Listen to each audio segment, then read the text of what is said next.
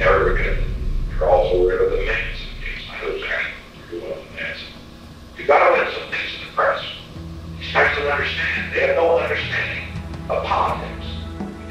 He was one of America's most successful presidents on the international stage, lauded as a world statesman who thawed the Cold War.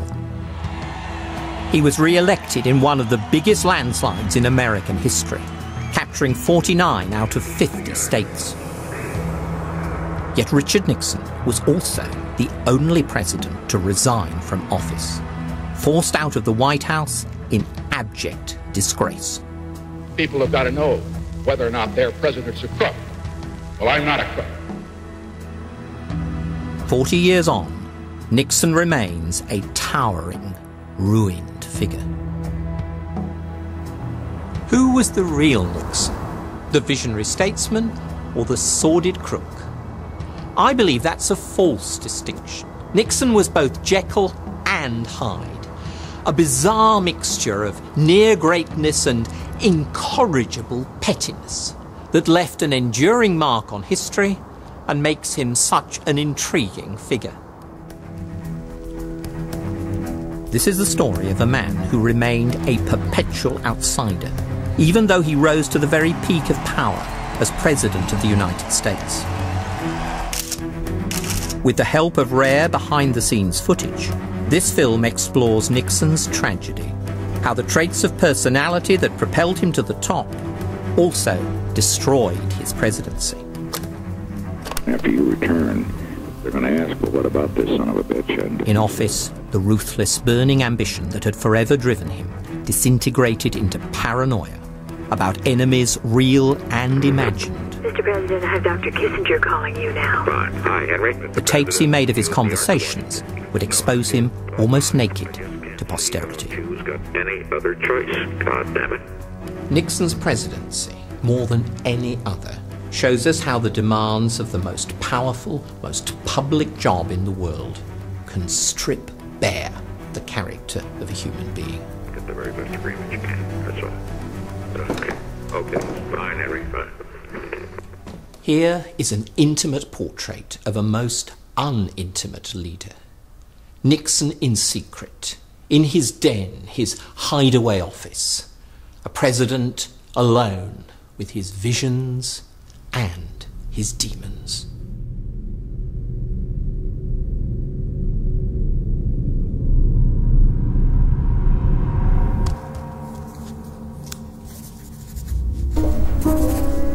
On the night of the 30th of July 1974, Richard Nixon could not sleep. Mired in scandal, his presidency was in terminal crisis. In the early hours of the morning, he took out his notepad and methodically listed the reasons why he should resign for the good of his Republican Party and his country.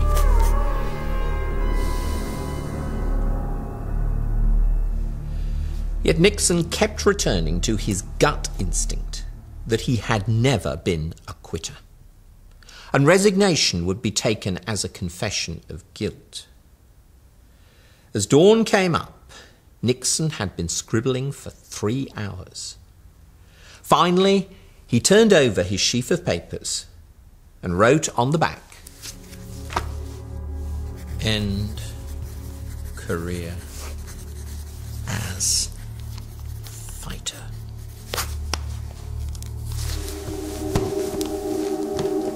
Richard Nixon had always been a fighter. To understand how this man became the most embattled president in history, we need to go back to the struggles of his early life, the struggles that shaped him.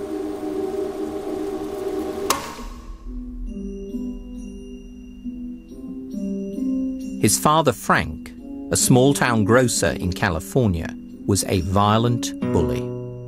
His mother, Hannah, was a devoted Quaker and homemaker. Yet the young Richard drew no real warmth from her. There were few hugs or kisses.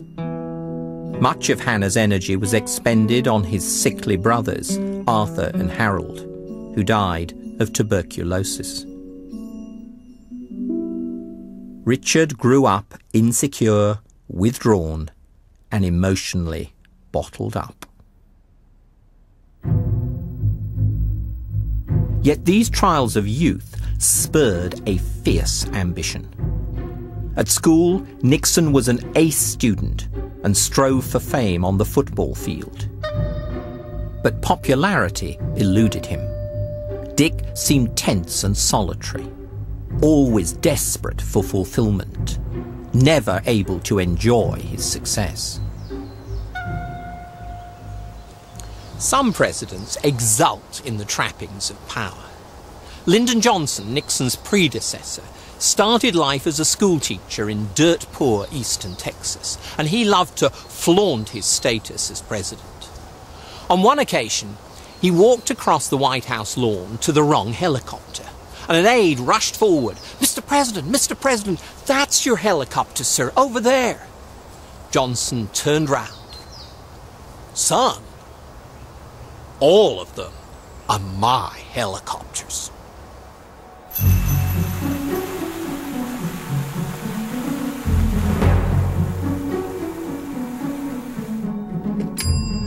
Unlike Johnson, when Nixon became president, he didn't set up court in the grand Oval Office of the White House. Images like these were mainly for show on TV and in the press. Nixon liked to work in a far less ostentatious hideaway in the old Executive Office building, a few hundred yards from the White House.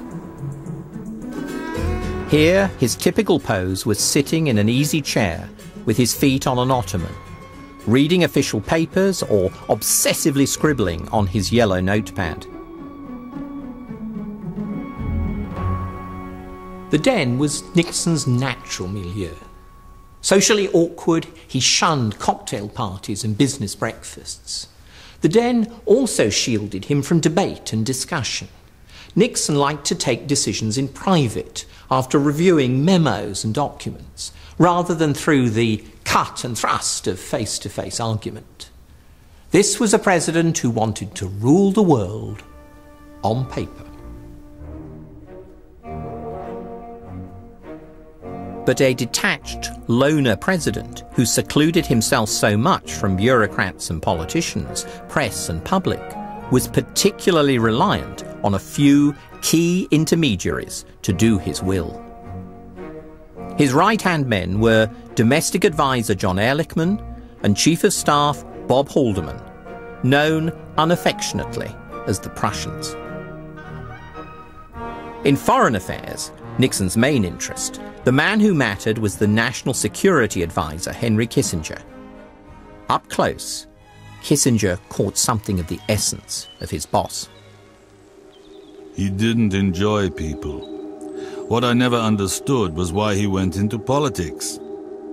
Isolation had become almost a spiritual necessity to this withdrawn, tormented man. Nixon himself admitted, I'm an introvert in an extrovert profession. Not enjoying human company is a bit of a handicap for a politician. But Nixon had always compensated for his lack of personal skills by a formidable capacity for hard work.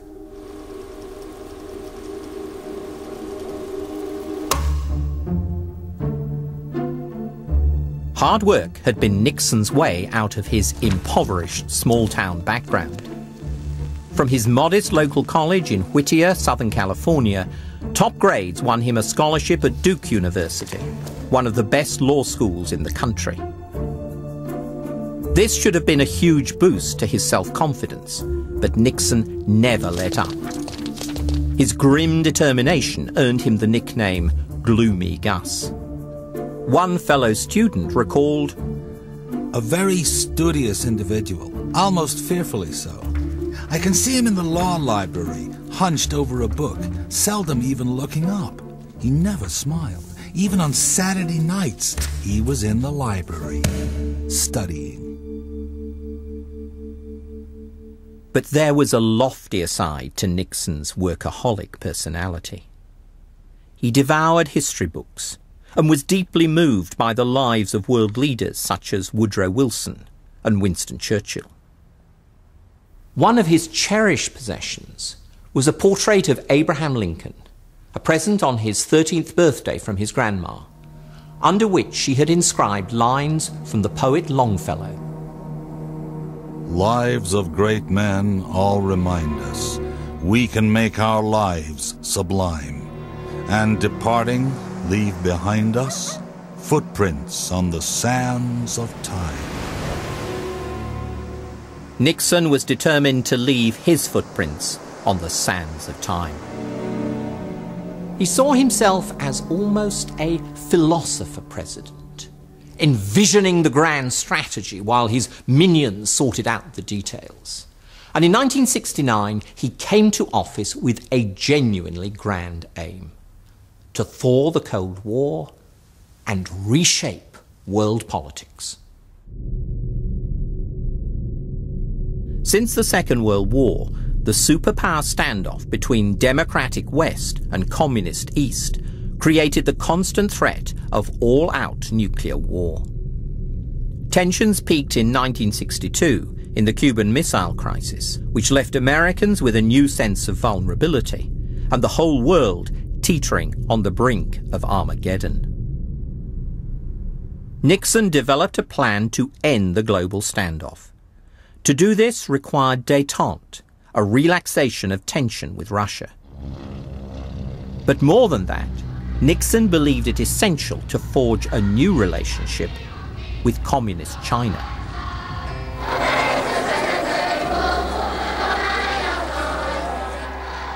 Since the communist takeover in 1949, the United States had refused to recognize Red China. In the 1960s, the xenophobic frenzy of Mao's Cultural Revolution gave further reason to shun the Asian giant. But although a right wing Republican, Nixon swam against the tide. He believed that an opening to China was now vital. We simply cannot afford to leave China forever outside the family of nations, there to nurture its fantasies, cherish its hates, and threaten its neighbors. Nixon's goal was to pull China back into the international community because he argued the world cannot be safe until China changes. The boldness of Nixon's scheme shouldn't be underestimated. China was a total pariah. The equivalent today would be a Western leader calling for direct talks with Al Qaeda.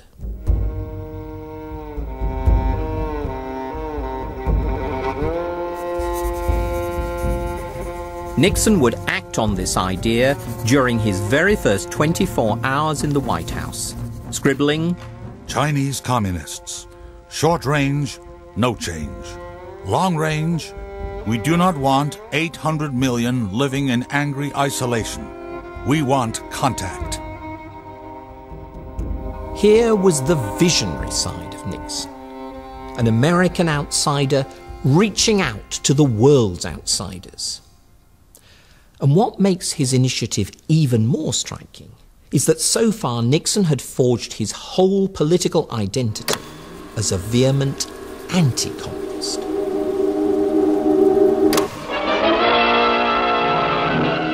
New evidence of communist activities in government circles is promised by the House Committee on Un American Activities.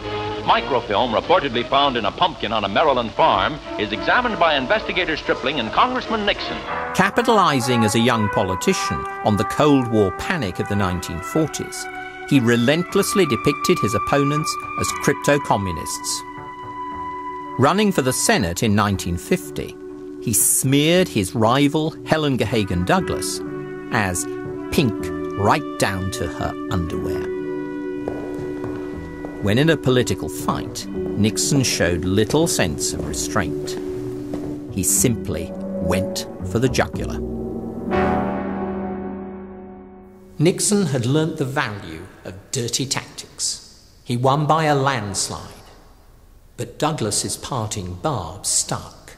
She coined the nickname Tricky Dicky. Seething resentment drove Nixon's political ruthlessness. His impoverished youth had left him with a deep grudge against America's privileged elite.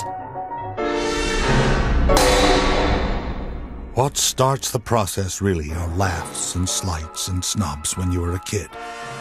But if you are reasonably intelligent, and if your anger is deep enough and strong enough, you learn that you can change those attitudes by excellence, personal gut performance, while those who have everything are sitting on their fat butts. Nixon's loathing was reserved particularly for the East Coast establishment The diffusion within the United States of subversive and un-American propaganda. In fact, he made his political name in the hearings that fingered top State Department diplomat Alger Hiss as a probable Soviet agent. Nixon's hatred of elite figures came from the gut. Hiss told Nixon grandly, I graduated from Harvard. I heard your school was Whittier? Snubs like that made Nixon determined to nail Hiss. Nixon was the outsider, determined to maneuver his way to the top. He deliberately portrayed himself as the champion of middle America. And his mix of commie bashing and populist politics catapulted him into the vice presidency where he made a name for himself in foreign policy. All over the Soviet Union. That's a fair bargain. Oh. After eight years playing understudy to Eisenhower, he ran for the presidency himself in 1960. His opponent was a daddy's boy from Harvard, John F. Kennedy, whose rich, womanizing father was determined to install his son in the White House. Nixon's relentless hard work on the campaign trail counted for little in the beauty contest of the first real television election, where each forced smile and awkward pose was played out on screen. Let's look at the record. Is the United States standing still? Although Nixon scored on the issues, the contrast between Kennedy's urbane good looks and his tense, sweaty face was a killer in their first debate. Nixon lost the election. The Eastern establishment had brought his irresistible rise to a shuddering halt. He then stood for the governorship of California, was defeated again, and conceded with a bitter speech aimed at the liberal media that he believed had shafted him. But as I leave you, uh, I want you to know, just think how much you're going to be missing. You don't have Nixon to kick around anymore. Because, gentlemen, this is my last press conference. Nothing could have been further from the truth. Nixon was simply regrouping for a new assault on the inner circle of power. The underdog was still determined to come out on top. The comeback was a typical mix of underhand maneuvers, ruthlessness, and hard work. At home, he won vital political allies campaigning for Republican candidates for Congress. Abroad, trips to Europe and Asia helped polish his credentials in foreign affairs. And as America became polarized between right and left in the angry 60s, Nixon positioned himself as spokesman for what he called the silent majority of law abiding Americans. So he was ideally placed to exploit the country's deepening crisis in Vietnam.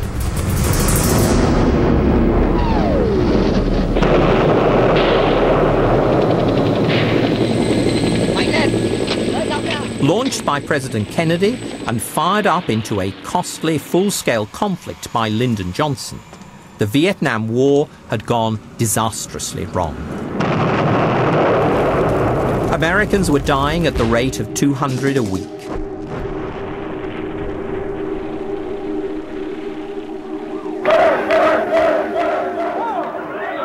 Meanwhile, at home, Johnson's ruling Democratic Party was imploding. Its Chicago convention degenerated into a week of citywide rioting. With his political opponents on their knees, Nixon seized his opportunity. When the strongest nation in the world can be tied down for four years in war in Vietnam without the end in sight, when a nation with the greatest tradition of rule of law is torn apart by unprecedented lawlessness, it's time for new leadership in the United States of America.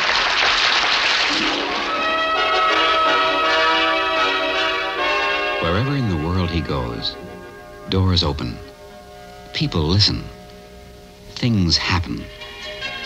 Who is this man? Of course, Richard Nixon.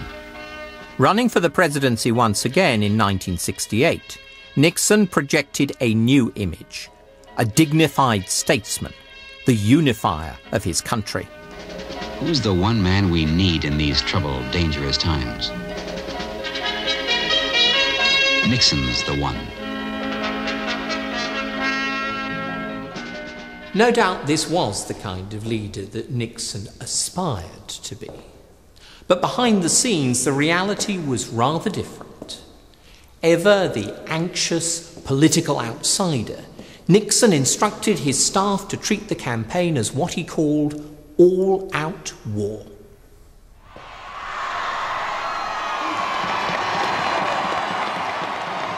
In this war, no blow was too low.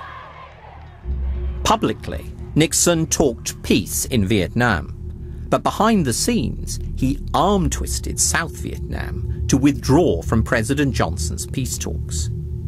To win the election, he was prepared to undermine his opponent's bid to end the war. This time, his Machiavellian tactics worked.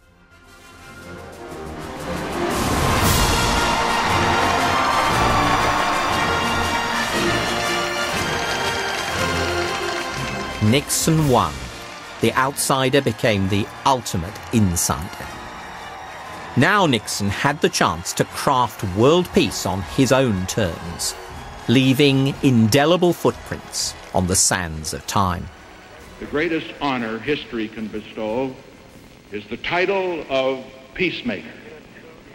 This honor now beckons America the chance to help lead the world at last out of the valley of turmoil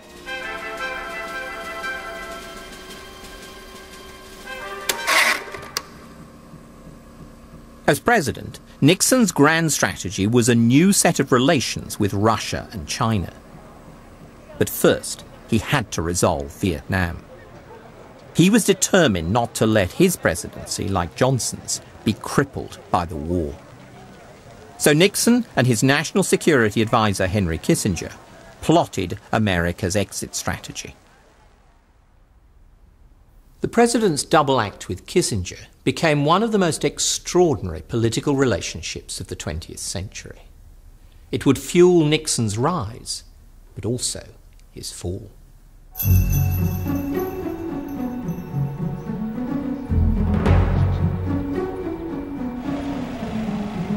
On the surface, Nixon and Kissinger seemed an unlikely pair. The reclusive, workaholic son of a California grocer and the sparkling Jewish intellectual, a childhood refugee from Hitler's Europe.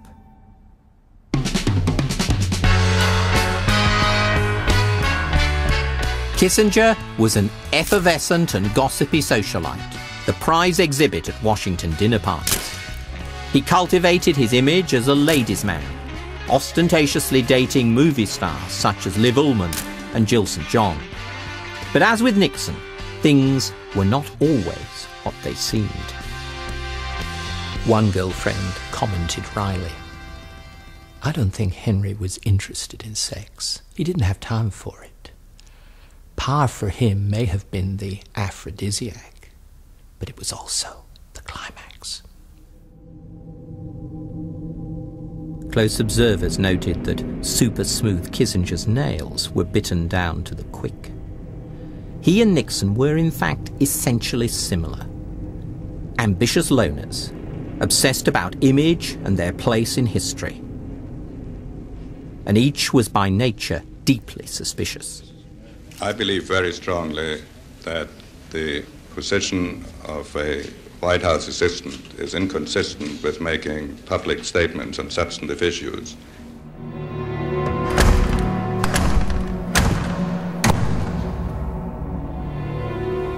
Natural conspirators. Nixon and Kissinger were sure that secrecy was the key to negotiating an end to the Vietnam War, to avoid the leaks and press comment that could smother their diplomacy before it had time to flourish.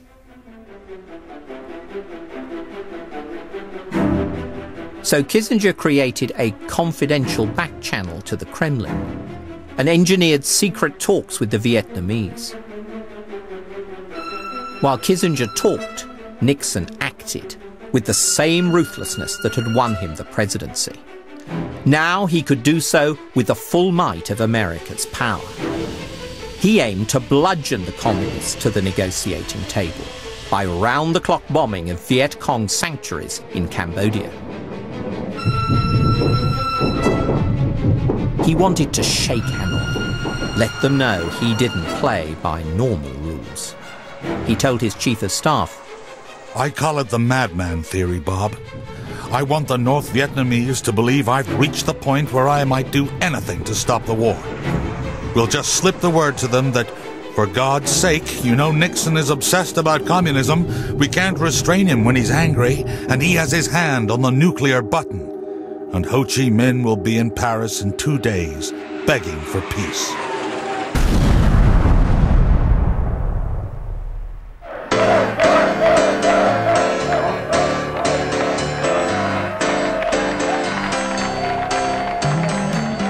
The quick fix didn't work.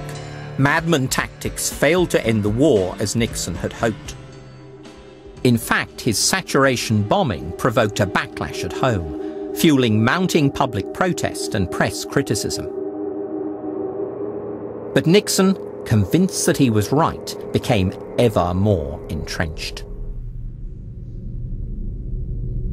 He liked to claim that he wasn't bothered about his media image unlike his narcissistic predecessor Lyndon Johnson, who had TVs in almost every room of the White House. But in fact, Nixon insisted on a daily news summary, often running to 50 pages, on which he'd scribble comments frenziedly. Over the years, he'd accumulated a list of friendly editors, reporters, and commentators. He'd also built up an enemies list even minor criticism was enough to ensure inclusion. He would scrawl angrily to his aides. Note, Newsweek is loaded against us. Cut it out like we cut the Times.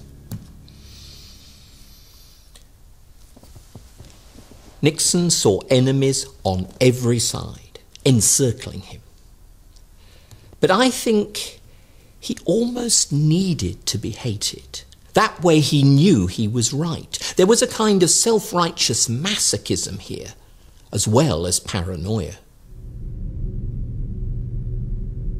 As the Vietnam War dragged on, Nixon's paranoia about his enemies at home intensified. Not just the student left, but the liberal democratic establishment and mainstream press raging about newspaper exposes of government policy. He even created a breaking and entering team to catch the perpetrators and plug the leaks. They were known as the plumbers. Nixon's den, which he'd conceived of as a command post, was beginning to feel like a bunker.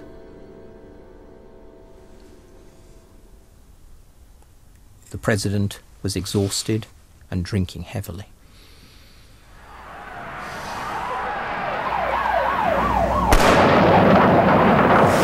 In May 1970, four students were shot dead on the campus of Kent State University in Ohio, protesting for peace.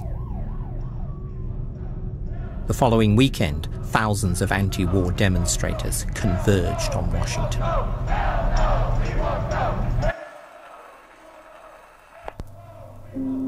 Nixon felt besieged.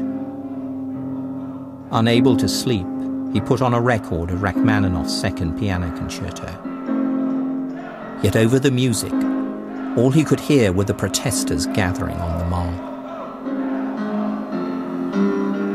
Nixon suddenly flipped. Desperate to break out of the den, he summoned his driver. They drove down to the Lincoln Memorial, where, in the early light, he confronted some of the protesters. They were utterly astonished to encounter the president and to hear rambling recollections about his own idealism at their age. He talked of Neville Chamberlain coming back from Munich, proclaiming peace for our time.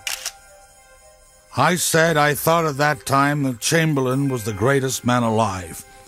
And when I read Churchill's all out criticism of Chamberlain, I thought Churchill was a madman. In retrospect, I now realize Chamberlain was a good man, but that Churchill was a wiser man.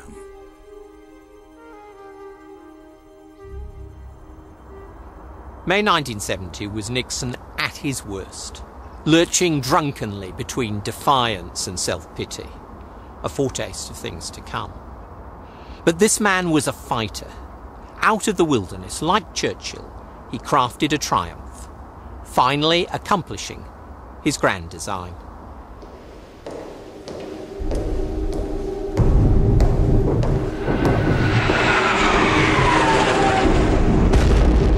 Military might alone was clearly not going to end the war in Vietnam, so Nixon resorted to cold, calculating diplomacy.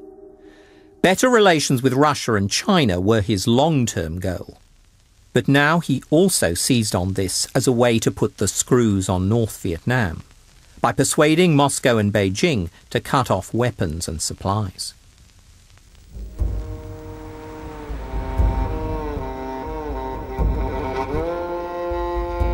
His tactic was to make use of the growing rift between North Vietnam's two communist patrons. The Soviets were obsessed by China's growing military strength and soaring population already triple that of Russia's. Russian fears about the Chinese threat were captured in one Moscow joke, which imagined a phone conversation between Nixon and the Soviet leader, Leonid Brezhnev.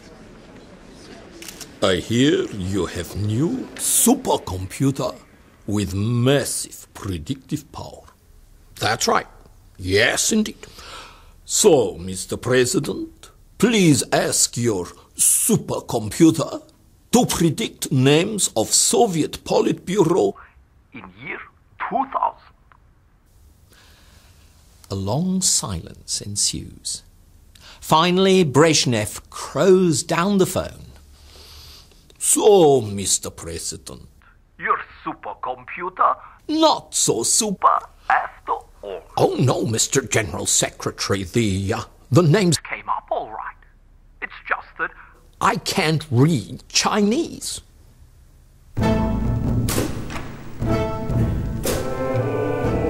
How best to exploit the split between the two communist giants appealed to the grand strategist in Nixon.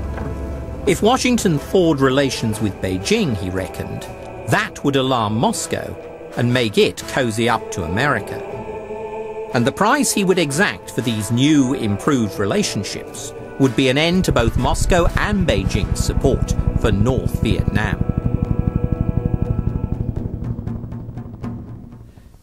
Nixon saw all this as a kind of global chess game, which, move by move, would get him the peace settlement he wanted and needed to gain re election in 1972. He told Kissinger, we're doing the China thing to screw the Russians and help us in Vietnam. And maybe, down the road, to have some relations with China. Nixon saw Kissinger as his most powerful piece, his queen, if you like, in this game of chess.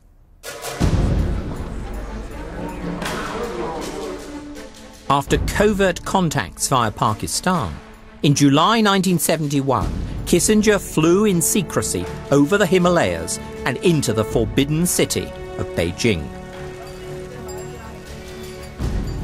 Nixon could only wait impatiently. But on the 11th of July, he received the message he wanted. Kissinger had secured China's agreement in principle that the president would visit Beijing. For Nixon, this would put pressure on North Vietnam and advance his great goal of global detente. Nixon was beside himself with delight. He scribbled a message of congratulation to Kissinger.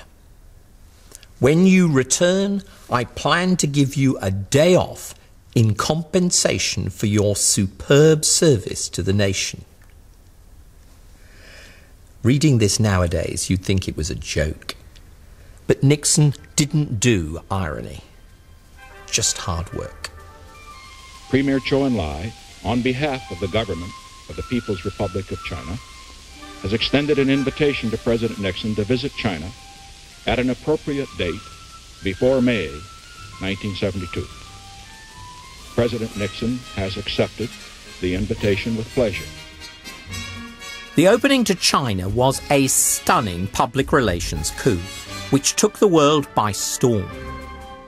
The problem for Nixon was that Kissinger gained much of the credit, turning him almost overnight into an international celebrity, depicted as the shrewd helmsman who was piloting Nixon on a dramatic voyage into the unknown. Nixon needed Kissinger as the backroom dealmaker, but he hated letting his advisor into the limelight.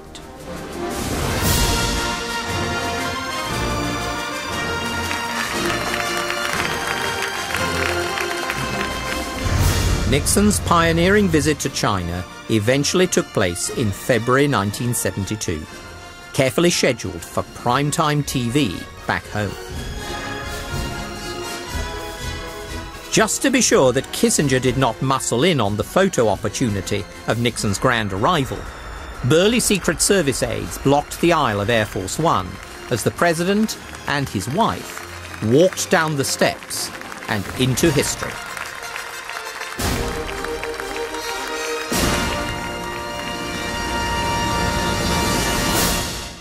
The visit was a triumph of public relations, and it could only have been achieved by a notorious right winger who couldn't be criticised for being soft on communism.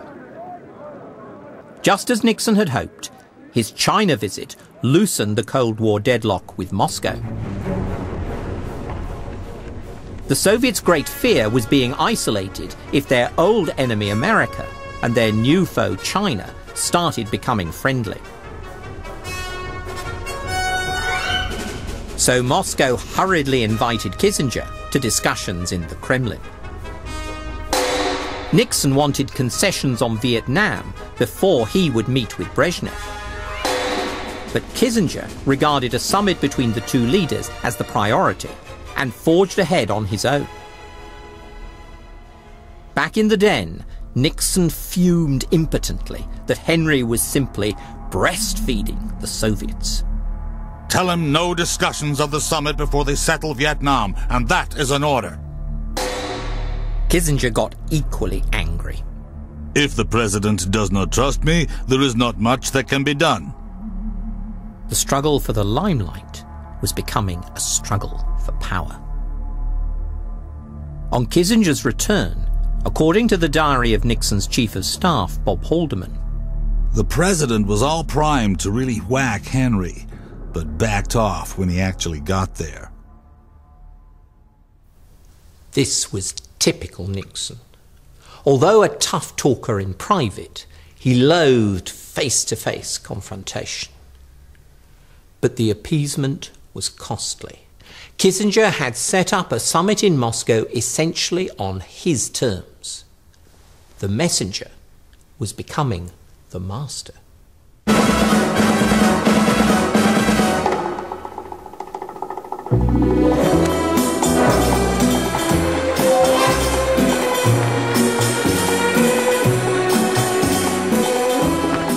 In May 1972, Nixon touched down in Moscow. He had prepared for the summit by watching the James Bond classic, From Russia with Love. And he was welcome, if not with love, at least with champagne. Unlike Beijing, there was substance here as well as symbolism. He signed a series of agreements with the Soviets, above all on arms control.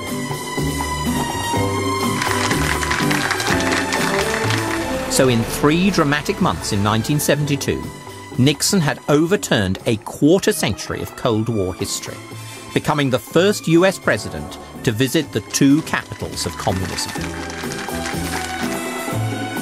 Just 10 years after the Cuban Missile Crisis, when nuclear war seemed inevitable, Nixon's policy of detente, relaxing superpower tension, offered hope for an end to the Vietnam War and the prospect of a new, more peaceful world.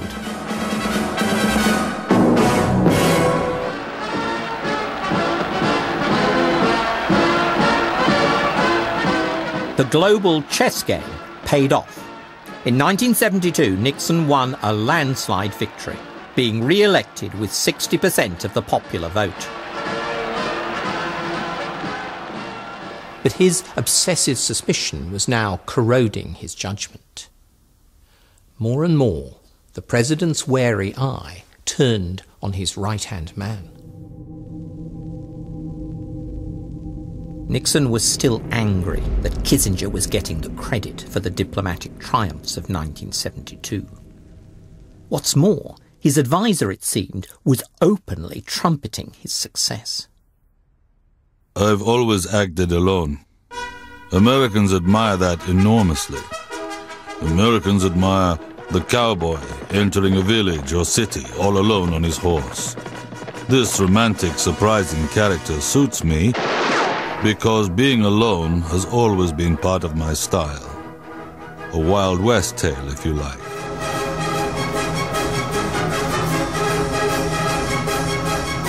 The tubby bespectacled Kissinger as a Lone Ranger style Wild West hero sounded preposterous to most people. But Nixon took it very seriously. He liked to think of himself as a Lone Ranger figure, with Kissinger playing Tonto. Two quick puffs. That's your sign, Tonto.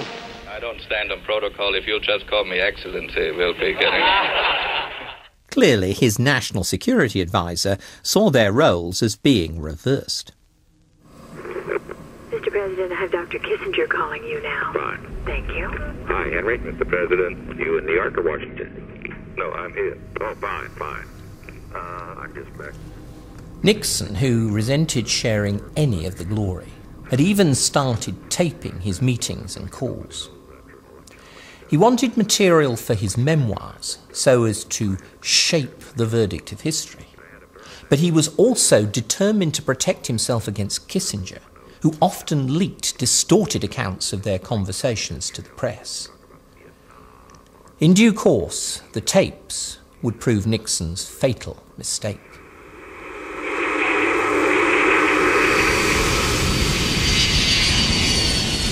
Part of what irked Nixon was that Kissinger's jet setting diplomacy had still not delivered peace in Vietnam. In December 1972, with the election won, Nixon reverted to hardball once again to finally clinch the deal. He unleashed 12 days of savage bombing, forcing the North Vietnamese into some final concessions, and an agreement was signed. North Vietnam acknowledged South Vietnam's right to exist, at least for the moment. Nixon had extricated America from the mess and got the boys home. The president, it seemed, was starting his second term with a clean slate and could look ahead to expanding his China strategy and building on superpower detente.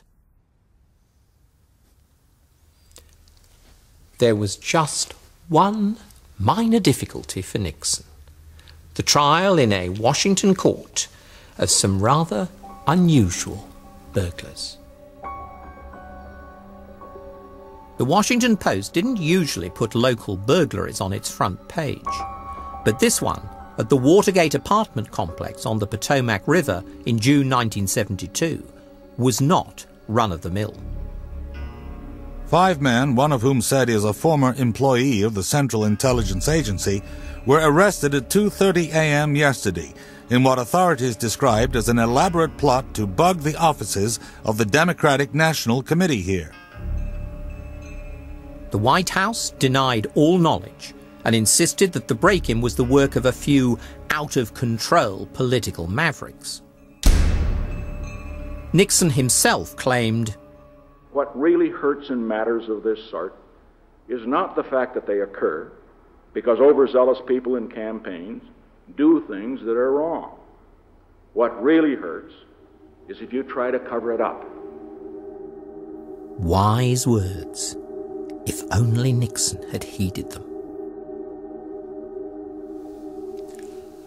Watergate wasn't a marginal event on the fringe of the Nixon presidency.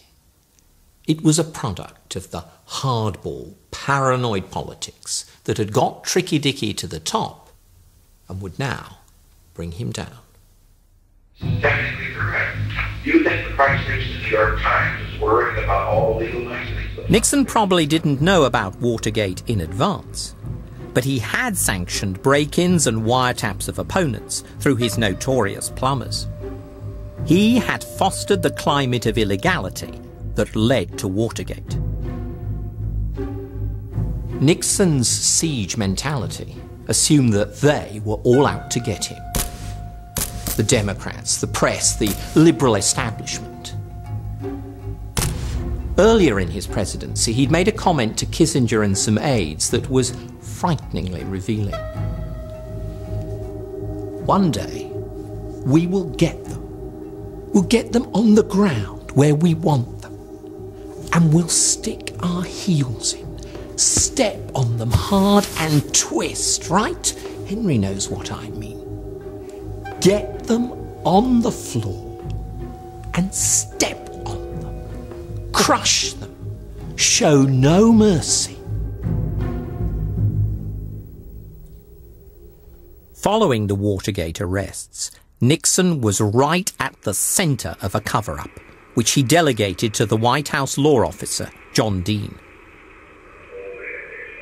In June 1972, on the pretext of national security, Nixon told aides to order the FBI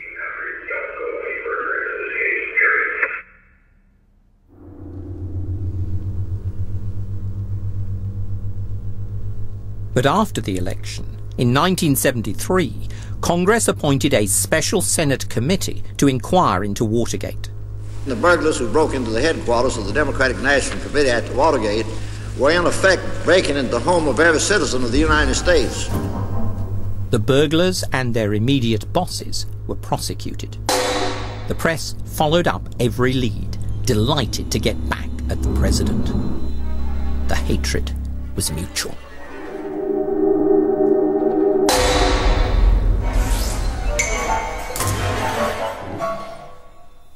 Pressure was really getting to Nixon. His hands were shaking. His breath smelt of liquor. The den was becoming a bunker. It was like May 1970 all over again. But this time, there was no way back. His presidency and his personality began to fall apart. Nixon told Haldeman, You know, Bob, there's something I've never told anybody before, not even you. Every night since I've been president, I have knelt down on my knees beside my bed and prayed to God for guidance and help in this job. Last night, I knelt down and this time I prayed that I wouldn't wake up in the morning. I just couldn't face going on.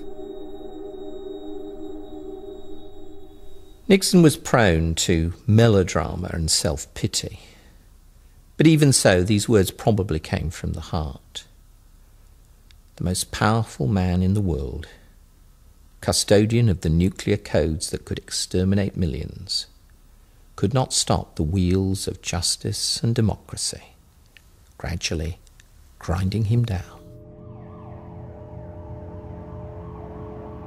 Yet the scandal dragged on for another 15 months because Nixon, a fighter all his life, would not give up. It is my constitutional responsibility to defend the integrity of this great office against false charges. You know, when Hunt's wife was flying Ironically, though, he sealed his own fate because this most secretive of presidents had documented his own crimes through his tapes. We have a cancer within close to the presidency that's growing.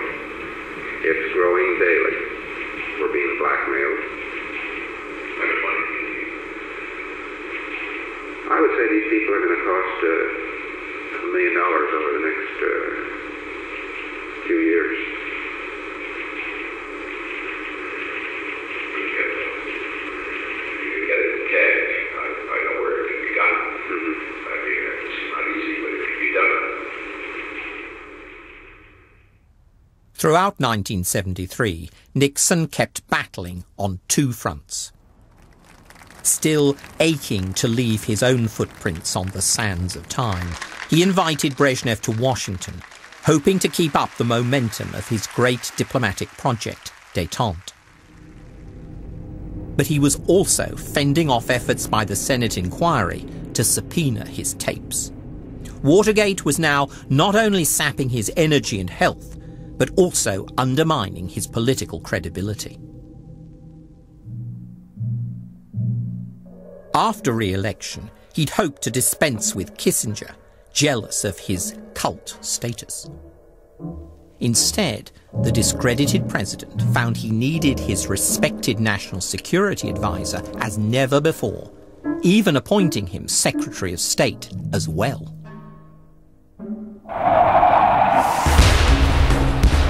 From now on, it was almost a co presidency. No more so than in late October 1973, at the height of the Arab Israeli Yom Kippur War. The crisis escalated into a major face off between the superpowers. US forces were put on DEFCON 3, the highest level of defense readiness short of imminent attack. Yet the decision was taken not by the president, but by Kissinger.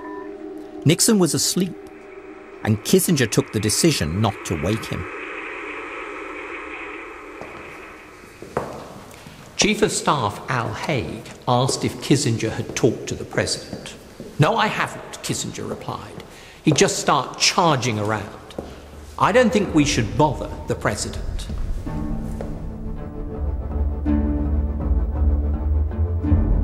Whether Nixon was exhausted or drunk is unclear. To save himself, the president had had to sacrifice most of the key aides who'd been at his side since the beginning. Haldeman and Ehrlichman had been forced out. And he was losing all authority, constantly harried in press conferences about the tapes, the cover up, and even his personal finances. People have got to know whether or not their president's a crook. Well, I'm not a crook. Now the Lone Ranger really was alone. Forced to release the self incriminatory tapes and facing imminent impeachment, Nixon finally resigned in August 1974. He told staff in a tearful, rambling farewell Never be petty. Always remember others may hate you, but those who hate you don't win unless you hate them. And then you destroy yourself. The ultimate irony was that hate had become the adrenaline of the Nixon presidency. The ambition and ruthlessness that had driven Nixon to the top had spiraled into a consuming rage and mistrust of others that had indeed destroyed him. The presidency of the United States is an unforgiving role. Nixon wasn't the first president, nor will he be the last, to end his tenure compromised and discredited. The relentless pressures of office drill down to the vulnerable heart of the incumbent and expose it to the media's remorseless gaze.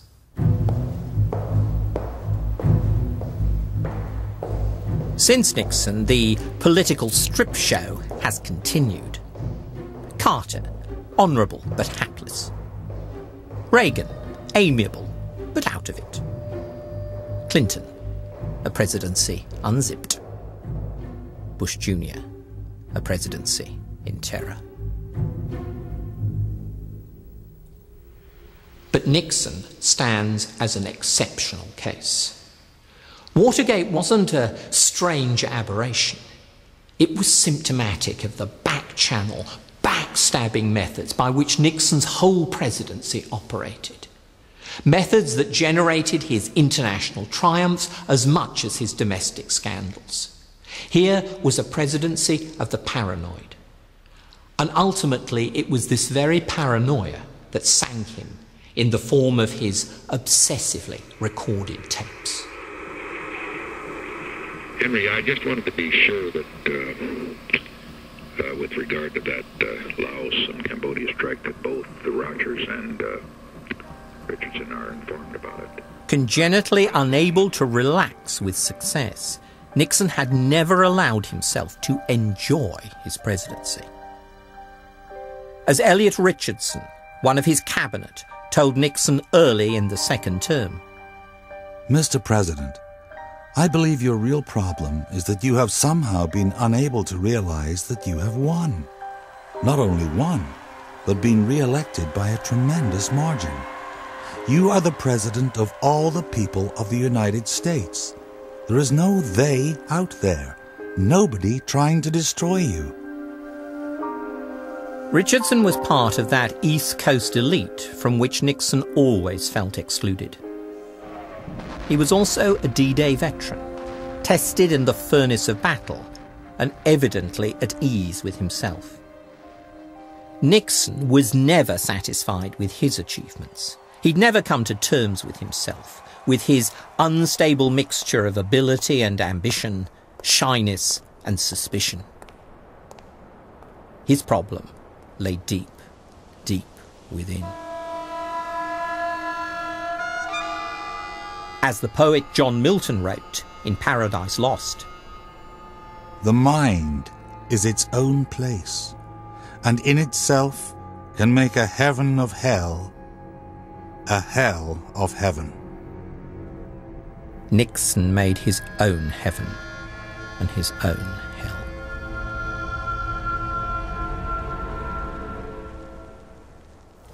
Just before lifting off from the White House lawn, Richard Nixon turned to give a farewell wave, arms outstretched in that fake spontaneous public style of his.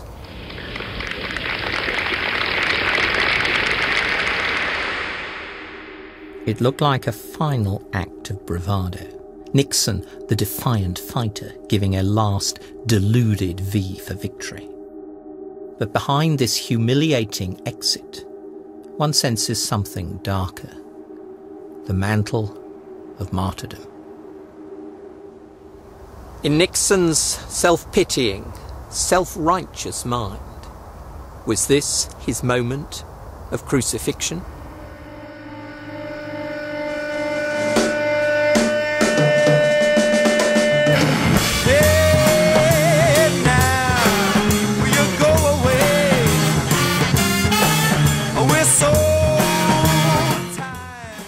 And we're staying with the Nixon administration here on BBC4 this evening for Storyville at 10.25 and how Vietnam was lost. That's after a little more light-hearted fare with Flight of the Conchords. Next. Tomorrow